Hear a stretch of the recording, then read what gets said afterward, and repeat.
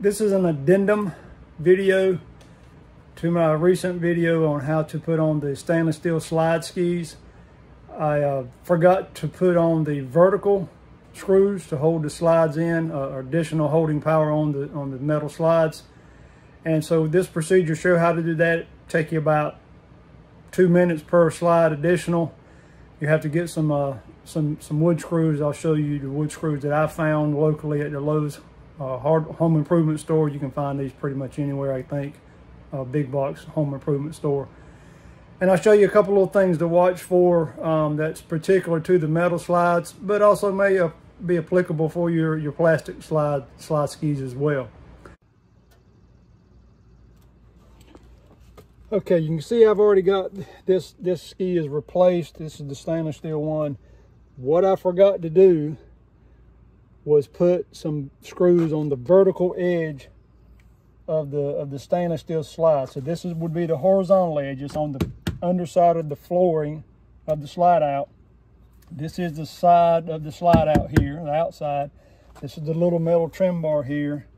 These pre-drilled hole, holes come in. So you can see a little bit about three quarters of an inch of the vertical side of the slide ski right here. So what I forgot to do was put some screws on the vertical edge. So real simple. I would highly recommend doing this after you get this put up or either after you've got it dry fitted because you don't exactly know where you need to drill these holes until you get this piece of um, this trim piece of metal back on.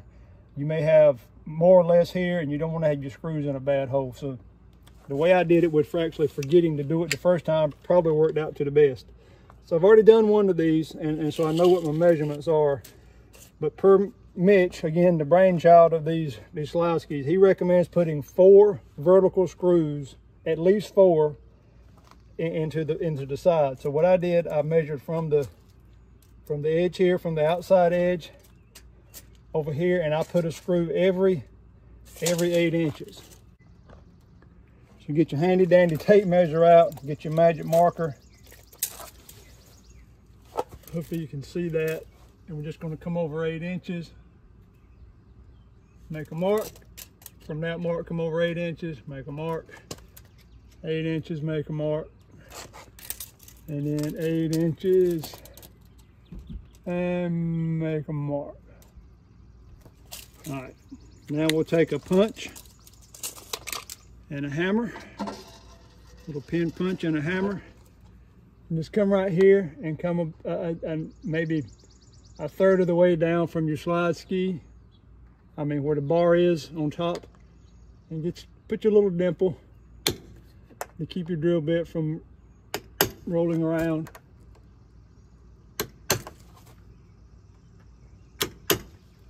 All right, now I'm, and that works out to be, I think this is a 532nd drill bit, which is just a little bit bigger round than the screw itself. We're just going to drill holes here. Only thing we're doing with this big drill, bigger drill bit is just drilling a hole through the metal. Don't go all the way in the wood. Just want to break the surface of the metal.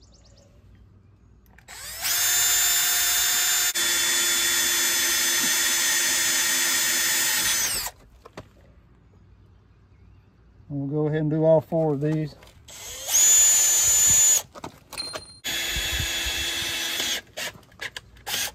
Okay, so that's got us a hole drilled through the metal.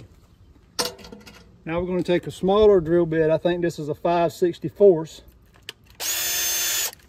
And now we want to drill into that hole. So we're drilling a pilot hole into the wood to keep from splitting it.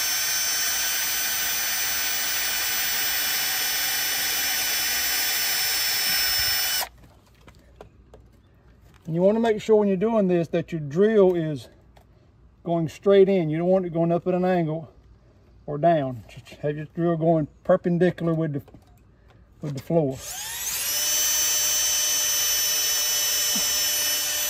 I'm sorry, that would be perpendicular with the wall, parallel with the floor, straight in.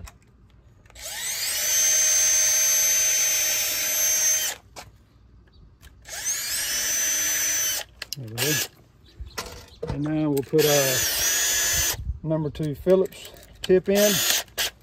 And set your chuck on this because you don't want to strip it out. Go in pretty slow. And when you feel it grab, just stop. There's no need to keep cranking down on it.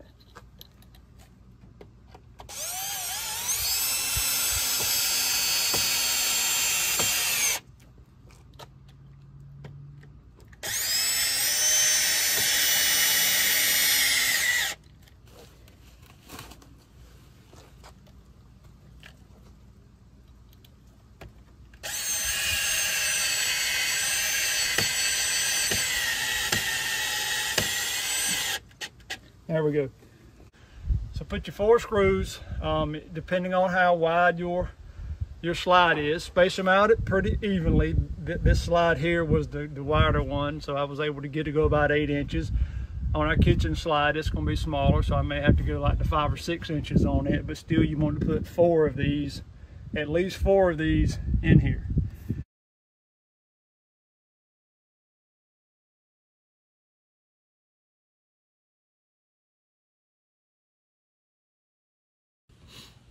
These are the screws I use for the vertical, put into the vertical part of the slide. They're, they're wood lattice screws, stainless steel, number nine by one and a half inches. You can see what it looked like. They've got a, a number two Robertson square head on them. They're, the head on them's gray, so they blend in pretty good. And they kind of got a self-starter tip on it. You can see that right there. And they got a good aggressive wood biting thread. So uh, found these at Lowe's. You can probably get them at Home Depot, uh, Menards, or any Ace Hardware store like that. But this is just the size they come in, uh, standard, number nine by one and a half inches. There you go. Hopefully that helps. Now what these, these screws here do is they help keep this slide ski, if your adhesive, construction adhesive that's under here fails, over time. It keeps the slide ski from coming out or, or, or coming down and damaging your flooring on the inside or damaging your wall or something or other. It's just additional insurance here. Now, your, your metal bar here and these screws are absolutely helping doing some holding to keep it together. But these additional screws here is additional insurance and you want that with these metal skis because if they the construction adhesive fails, they're not going to break like a plastic ski wheel. They are going to do some serious damage if they get, get out of place. So I'm going to show you one more thing you need to check, which I run into, small, small issue. I'll show you one more thing on the inside. Okay, we're on the inside now. This is the, the this is our dinette slide. Call it the dinette slide where the recliners and everything are. Just flip it up. So this is the same slide ski that I was just working on putting the additional four screws on. You can see there's a pretty good gap from where the slide ski is to where the actual flooring goes. You can see this flooring has got a little black border around it. That's that undercoating they put on it. But there's a good heavy quarter of an inch. And it may be as much as 3 8 inch from the slide ski itself, the vertical edge, until it gets to the, the OSB flooring. Now, this one is a lot wider than any of the other ones in, in, in the RV. And the reason is, it's because of the way this slide, the slide wall was made. It's a, a little bit off. If you remember in my original video of, of the original installation, I, I, had an issue with this slide. I had to do some work around. It took me a lot longer to deal with it than it did the kitchen slide.